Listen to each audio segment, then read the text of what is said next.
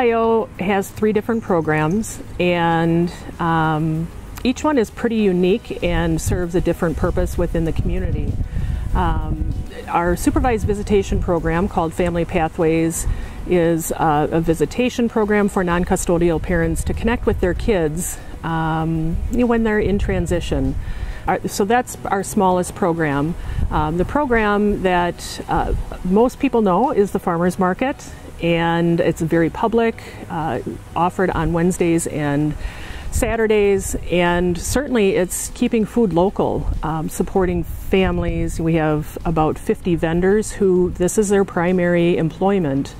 Um, so they are growing food locally and supplying uh, the community with fresh produce. And so that's been a real blessing for the community.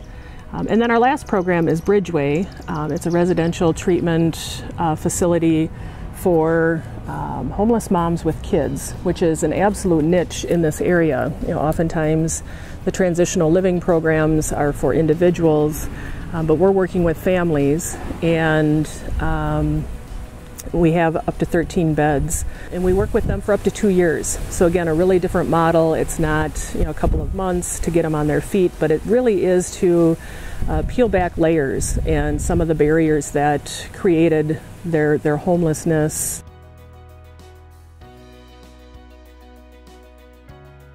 We're 30 years old uh, with the farmers market, and it got its start uh, because the farmers weren't getting fair milk prices. So there was a group that came together through the faith community that said, "What can we do to advocate that so the farmers are getting fair prices for product?" And that really was the start of the program.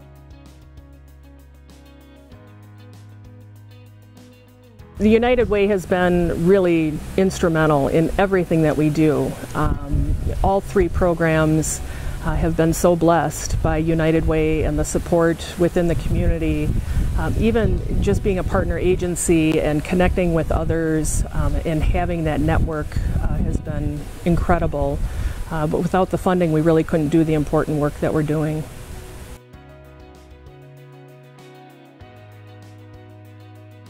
A mom come to us a couple of years ago. Um, she had addiction issues. Um, she was seeking reunification with her child um, and really was ready to change. She said, I, I can't do this.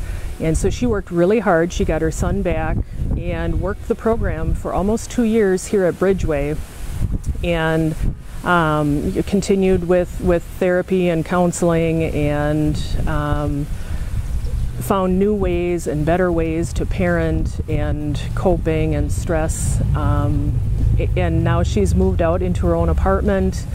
Um, she studied for a real estate license while she was here. She passed that exam and she's now received her full license.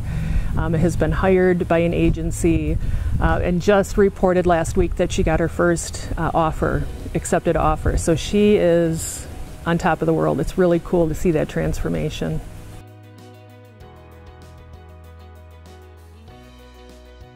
People can get involved with our organization through um, our website. We have uh, a volunteer area as well as wish list items. Uh, with COVID, we've kind of restricted some of the volunteer opportunities, but certainly when people have some interest, uh, and we have a remote or a virtual opportunity, we can pass that off. So um, I would say going to SheboyganCountyInterfaith.org is the best approach um, to connect with volunteer opportunities.